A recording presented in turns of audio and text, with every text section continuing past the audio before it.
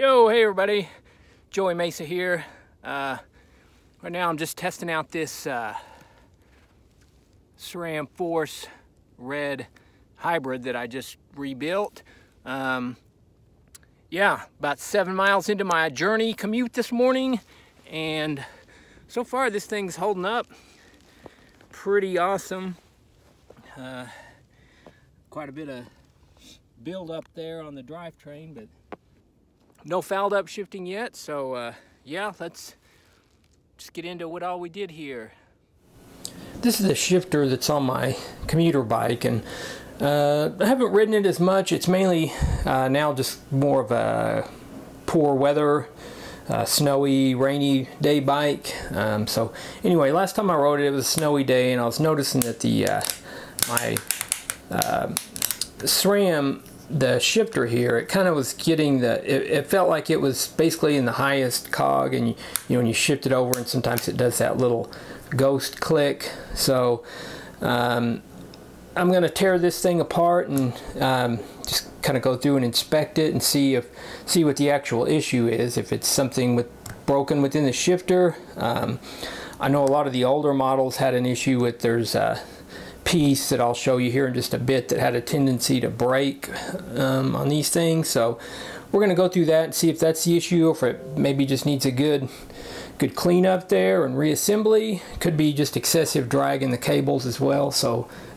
we'll uh, let's go ahead and get this thing off and take a little closer look deep inside of it here.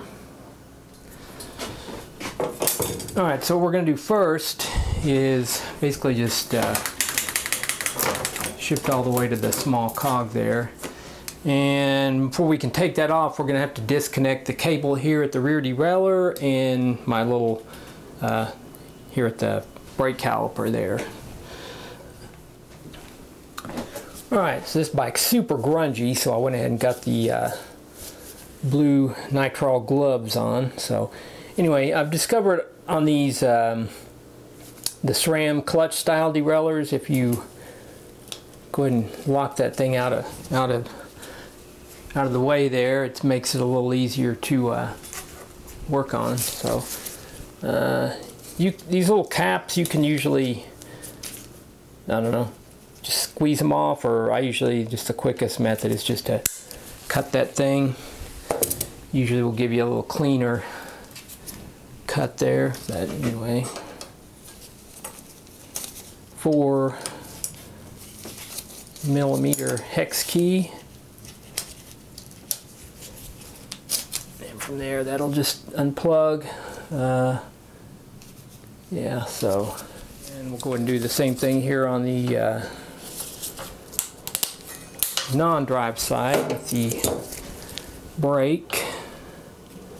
This one's a five millimeter, but this is just going to vary depending on what kind of brake you have on here.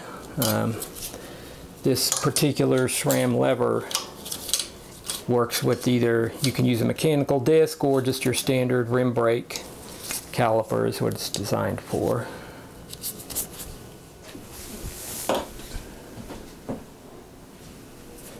So before we take the lever off, we can basically just disconnect it now with the cables both loose. Um, I usually roll up this, the hood there, and that little five millimeter hex bolt is what we're going to undo. Um, you know, as you can see, the the tape is kind of wrapped around it, so we're going to go ahead and uh, I'm just going to un undo the top section of the bar tape here.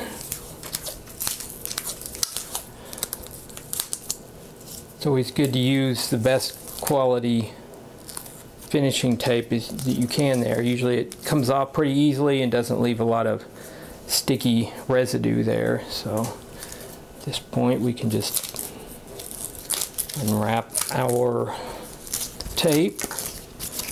We're not going to go too far, we're just going to go basically uh, beyond the lever body. Up and over. Got our little jelly pad there, we'll set that aside. And so now we've got room to just go ahead and pull this right on off. So one thing before you take this off, most of the time I'll line my levers up just with the straight edge you know on the bottom so um, should be comparable to the other side but if you're not 100% sure on that you might check it first before you start taking your lever off um, so what I'm going to do here is we're going to just go ahead and take this thing normally at this point, you know, it's loose and with this all, you can do it either which way. You can unwrap this all the way and slide it off, but we're kind of saving our, going to try to save ourselves a little bit of work here and we'll have to take this piece off anyway. So I'm just, the bolt's still there. That's the piece that it goes into. I'm just going to leave this all in place. We can pull that off and then from here with our cables loose, we can go ahead and just pull this right on off of here. There's one ferrule there for the, it goes in the brake housing side. I'm just going to kind of push that back up on there.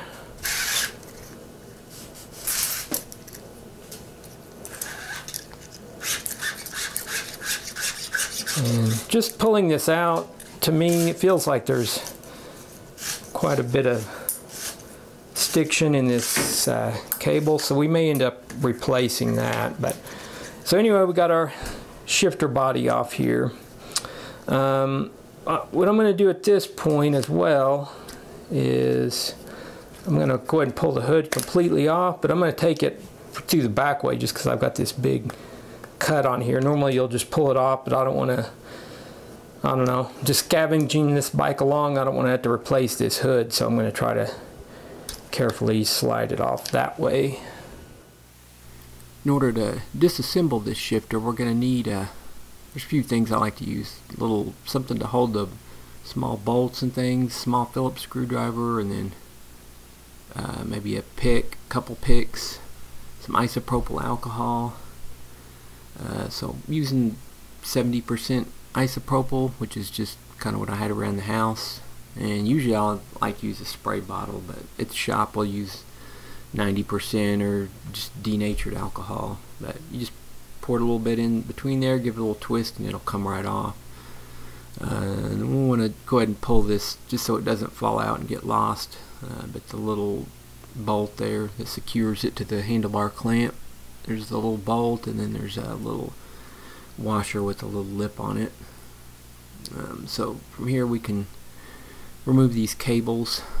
Uh, it's pretty straightforward. As long as the shifter is all the way in the starting position it just will slide out. You push it through and you'll see it come out through that bottom hole there.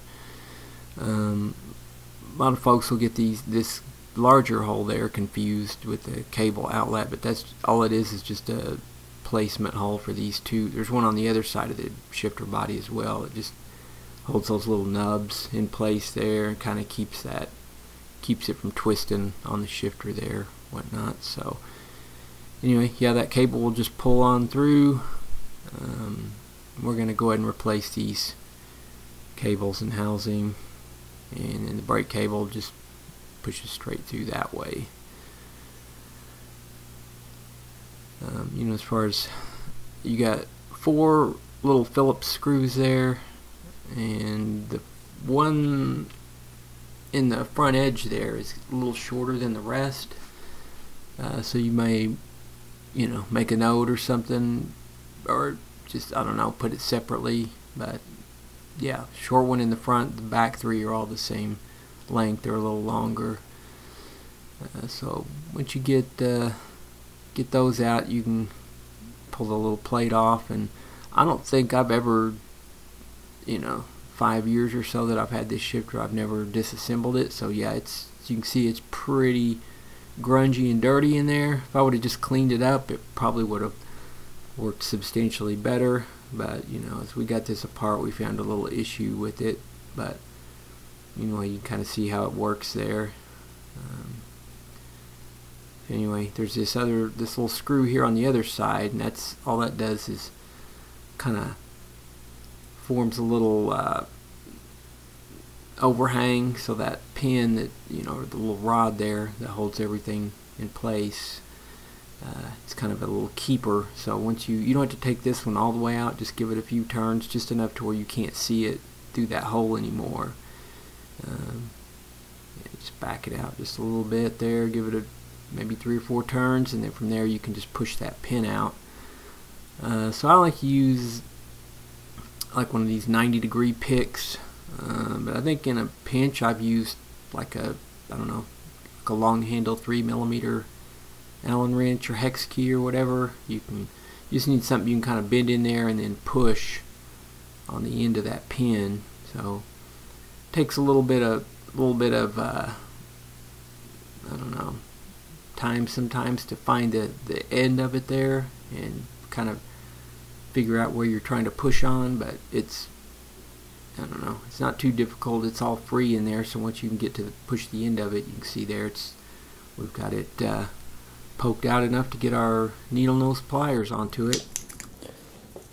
Alright so all my needle nose grew legs and walked away so I found a set here. But basically we're going to just grab the end of that little pin and there we could pull it right on out there's no you can stick it in either which way it's the same on both ends so okay so from there we can go ahead and pull this pull our shift mechanism out of here um, so there's a this spring here that preloads this the red piece here where the cable slips into. So we're going to take that out first.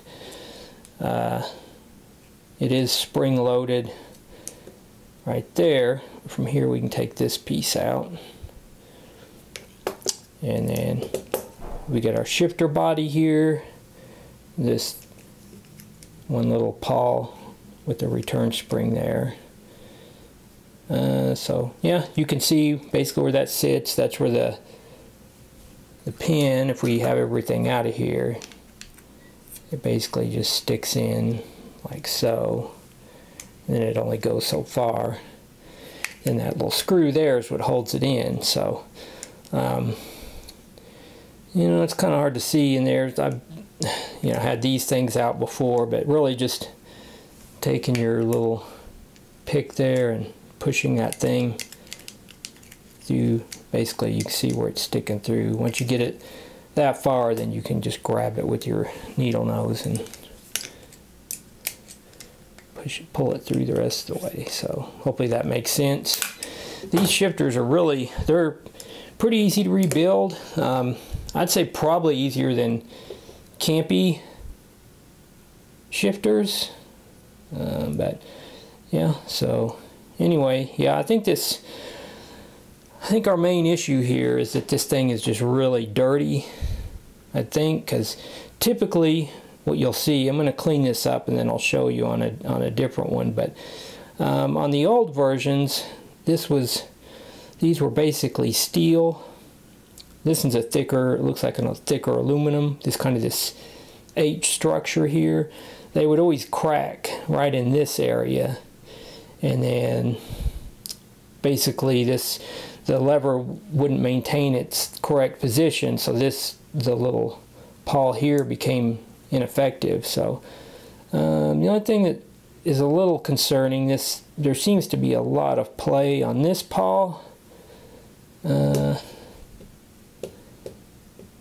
do have a little something I might try though okay so that's the original, the Force one, but I have this one that came out of a uh, red. I think it may have been a 10 speed even, but it was a yaw version. But just holding those up together, they look, everything looks identical as far as I can tell. But this piece here is definitely doesn't have near the amount of play that this one has.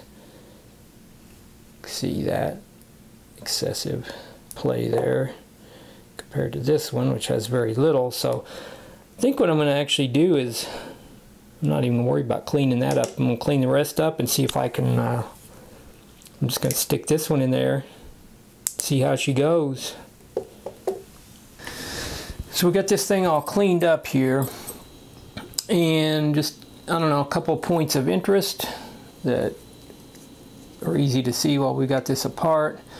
So you got this, you can see where it says break in. So that's your, that's a two and a half millimeter. Yeah, so you by uh, adjusting this either in or out, you can adjust, that's how you adjust your lever as far as how far out you want it or in as far as your starting point. Uh, I'm not going to mess that too much because I think I liked it where it was. And then as well, you've got on the uh, the little shift lever here, you've got your, it says reach. And basically this is just a little, you can see as you turn that, I think there's three, three or four different positions. that I'll get that dialed in once I get it all installed there. Okay, so uh, I'm going to use some of this, some parts, I'm going to use some of this. This is the uh, Rock and Roll Super Web grease, which is basically a, looks like a lithium grease, but it's, they claim it's a, like a PTFE grease, so I'll put just a little bit of this on our little rod here. Get this out of the way. And we'll start just by, I'm just going to stick that in just to that far right there, just so we got a little place to start there. Um, so we got our little ratchet ring, I guess you could call this. You got a little little coil spring there and then you've got your actual teeth on the that piece that hole there is where the cable goes in and then as you ratchet this up you know with each click it basically turns that way so um, you know and you can see that little black line that's where the cable runs and this is one area where uh, you know, you don't hear about it a lot, but where SRAM is actually, I think, a little ahead of Shimano because these definitely don't tend to eat the cables up like the Shimano ones. I, I think Shimano has a tighter bend radius on this, so it, it just over time as that thing you know moves back and forth from the shifts, it just it puts it just fatigues that cable. And then the the little strands will start to fray in that area and then they get caught up and pieces break off and it's a could be frustrating. So all right. So I'm gonna put just a little just a little grease on this thing as well. So let's put a little bit on this back side here and so this that little hook piece there is going to rest right up on that piece. So the tricky part is you got to kind of hold this little spring back to get that in there. So I'll use my little pick here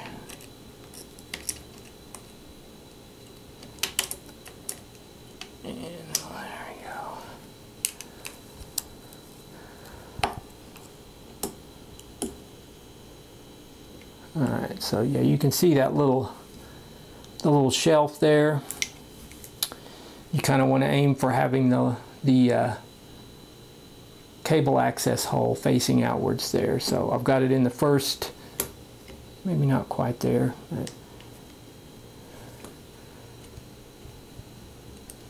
there we go. Got my, so I'm starting to push this thing through. We don't need to go that far we got it just, I got it just butted up to the end of that. So um, there we go.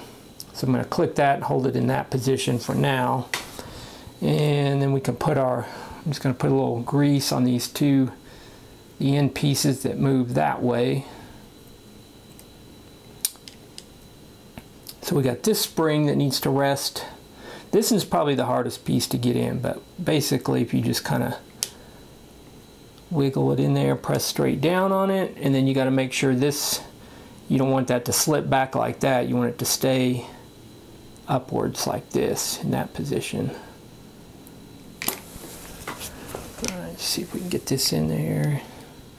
We're kind of having to work around this little nub here. So I might actually, I don't know if this will make it easier, but I'm going to push that up that way. Maybe we can make it a little easier to work around that.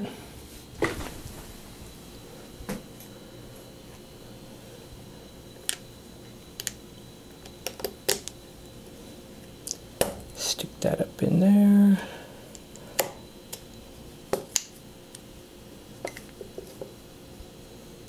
Push our pin all the way in as far as it'll go.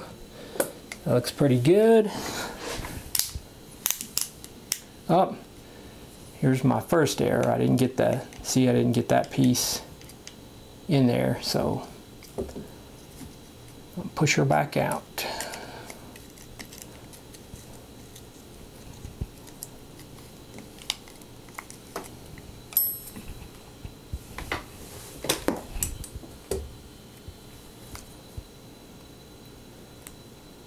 Not going to go all the way back. I'm just going to go out just far enough to get this piece back out.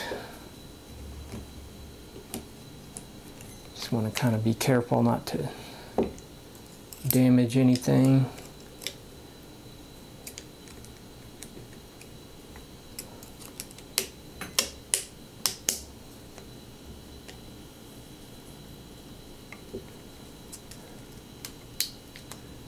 There we go. I push that back up there because I think it made it easier to get the this in.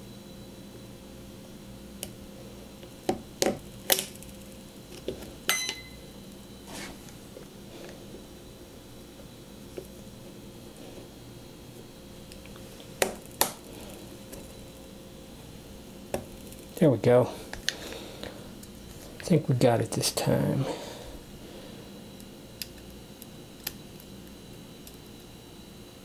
Push that guy in.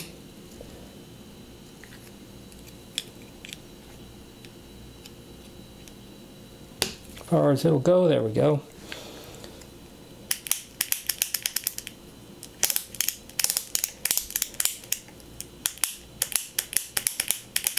Alright, I think it's functional. I'm going to go ahead and I'm going to use some of my green finish line. I usually like the foamy kind, but this stuff's about, I don't even know, 15 years old maybe, so hopefully it's still good. Just work that in a little.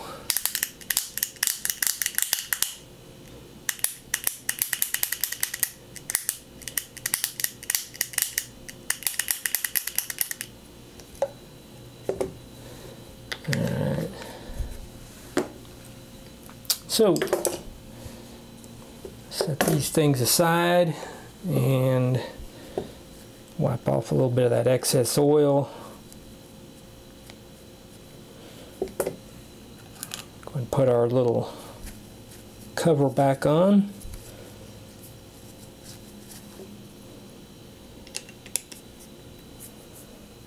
Got our, I'll start with the, the short screw one that was up here.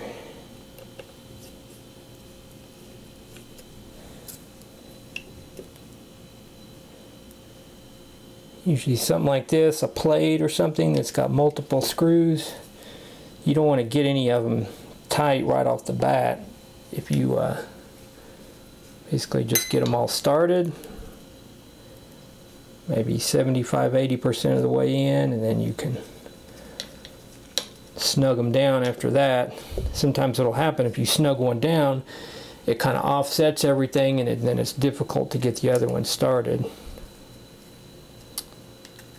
And so you can see on the uh, shift lever that gap that's between there. So that's where we can make our little adjustment with the shifter lever reach there. These snug down. I'll snug down my other screw now to hold that pin in. And you can see as I, as I'm snugging that one down, you can see it protrude just gets just goes past the pin. It doesn't rest against it. It just holds it in place there so it doesn't back its way out. okay, so let's just imagine with that brake lever pushing up against there. Got our 2.5 millimeter hex there, and then if I I think that one looks pretty good. Yeah, I'm okay with that. All right, let's go ahead and uh, so go ahead and put our hood back on. All right, so we just want to get a little, get this up in the, the hood here.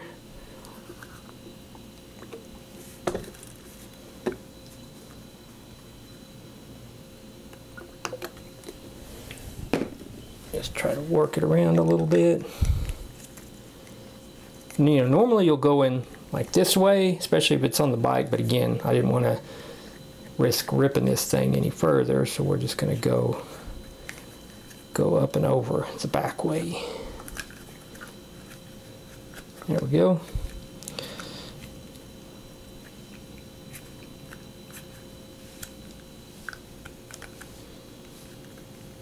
Go ahead and roll this back up.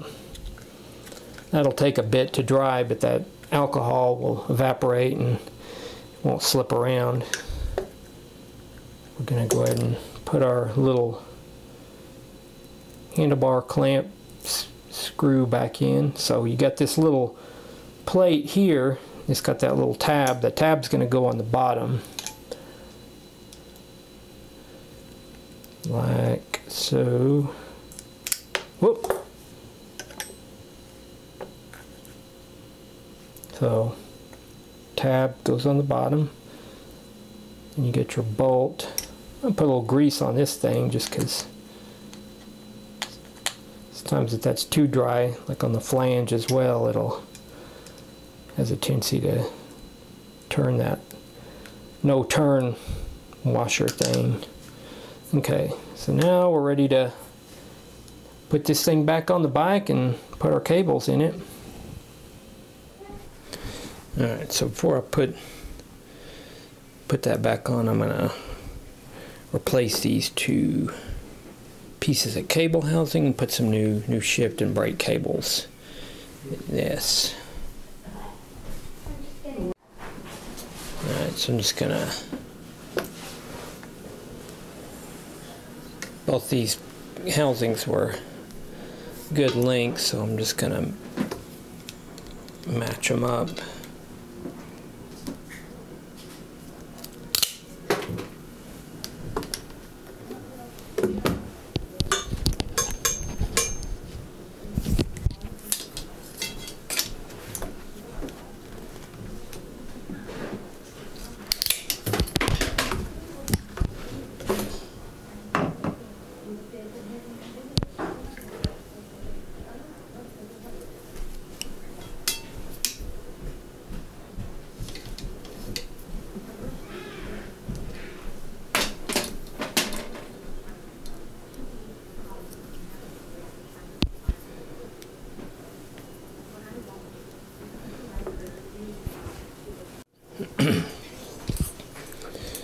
So I'll go ahead and put this cable in the shifter here. I don't know how easy that is to see, but into this second hole here is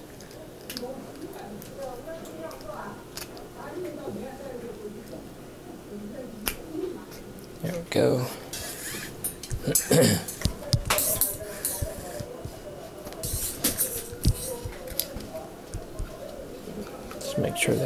All the way up in there. And the brake cable, you just stick it, brake cable, you just stick it straight through the hole there and it's going to come right out through there.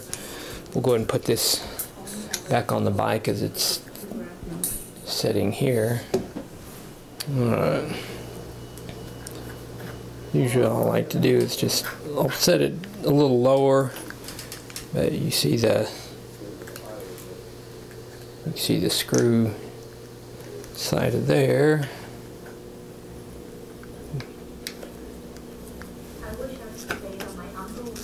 Just kind of got to guide it in there. Okay.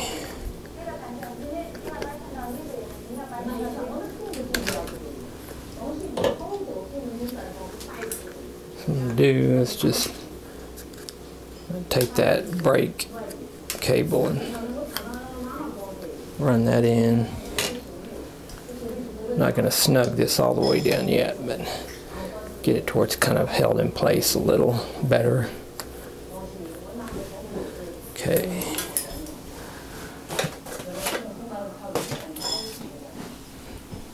So now we've got our first chunk of housing here. And we're going to put one ferrule on it, and then the other side just goes straight over the cable. Got my little bit of slick honey. Let's put a little bit on this inner wire right through there.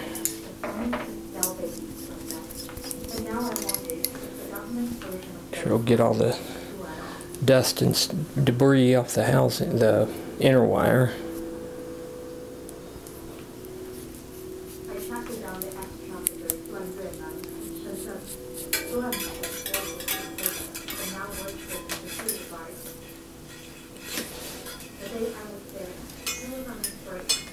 So you can go either in this, there's two grooves here, the outer one and then the inside one. I'm going to put it in this outer one. I prefer that one. Uh, it's up totally up to you.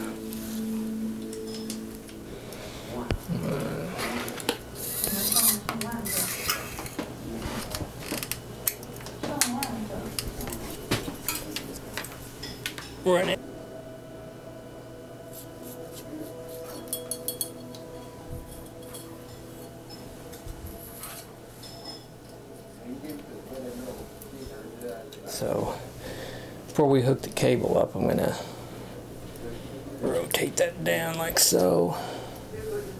Get it out of the way. Uh, the cable's gonna come right through there. Like so. Over that little nub there, and down under this washer. Making sure my barrel adjuster is all the way in. So we'll probably need to back that out just a little to get the cable tension set up just right.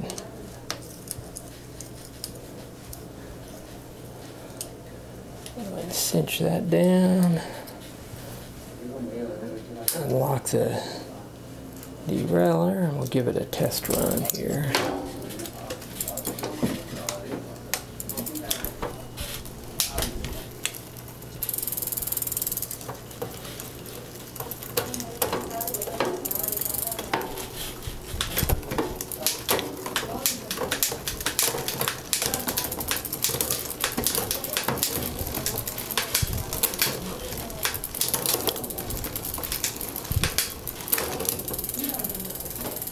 Little loose.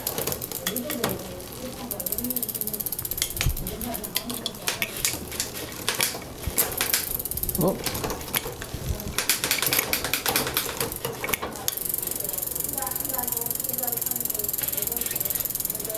Go ahead and thread this back down. Got a little slack in the cable, so I'm just gonna go back and start from scratch.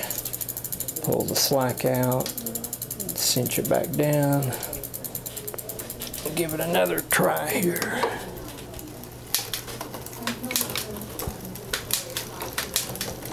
It's looking better.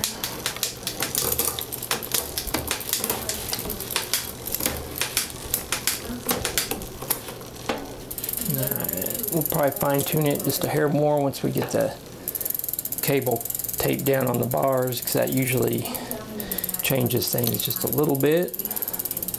Go Go ahead and hook up the brake cable now. Alright, so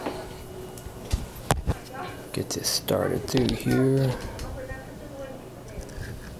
It's usually pretty easy. So I've got it going now. It's got a full run of length of uh, the brake cable there.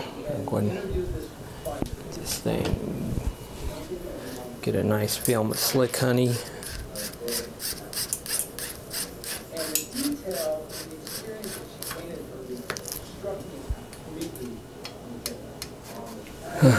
Got our cable coming out through there. And had this little Teflon tube piece that's going to fit through there. Go ahead and slide that on. It's right there now. So slip that up through there. And I had this little rubber piece here. I had that slid over to kind of what happened is I would ride and water could get down in here and then when it's sub-freezing it would freeze down there below the bottom bracket and get the brakes would lock up so that piece helped somewhat with that issue. Alright, so got the cheap ele electrical tape. This stuff's good for doing the taping for under the bars. Just kind of position where we want it. Some people will do the whole thing. I usually just do a couple couple spots here. Alright, so these are the only scissors I could find. Little dinky ones for now. House, our apartment's kind of in a state of disarray because we're moving. And, which, yeah. Moving, getting a place with a garage now at least, so hopefully here before too long I'll be able to get back into some fabrication projects and whatnot. Uh, there's my little gel pad thing. Kind of set that back in place. Alright, so we're gonna get our figure eight. Tape pattern going here. And getting this bike ready for tomorrow because it looks like it's starting to snow now so I'm definitely going to be riding this bike tomorrow to work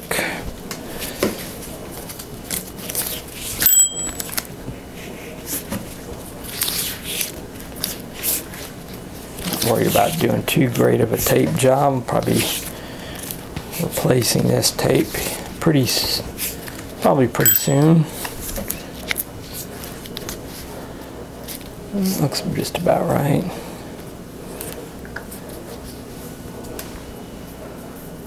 Just going to use the cheap tape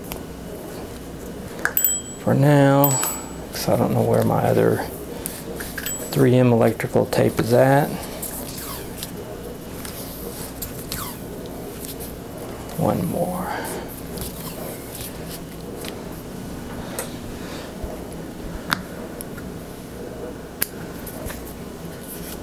Alright. Flip our hood back. Oh. Make sure this thing is right where I want it.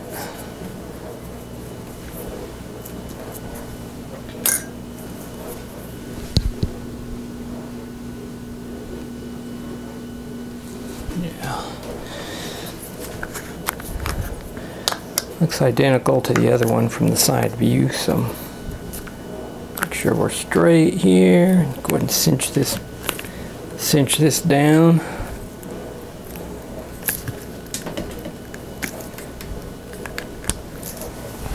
And roll our hood back. We're good to go. Give it one last test real quick. Definitely feels 20 times smoother, lighter action, just, you know, mainly from that new cable.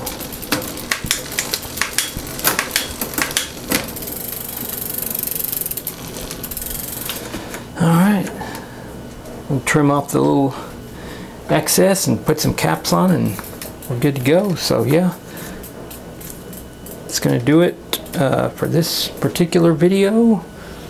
Um, hopefully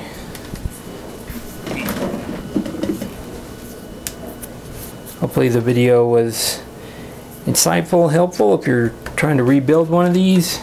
Um, and yeah, thanks for watching.